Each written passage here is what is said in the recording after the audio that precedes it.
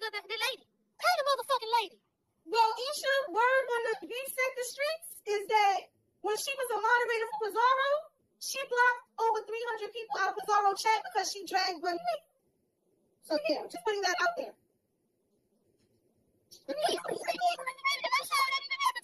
Because Pizarro, Pizarro ain't do nothing keep it real. And you can't stop nobody from feeling how the fuck they feel about anybody. And you hate it. So you over here thinking that you doing it for what, some brownie points or something with you, gonna fuck with you regardless.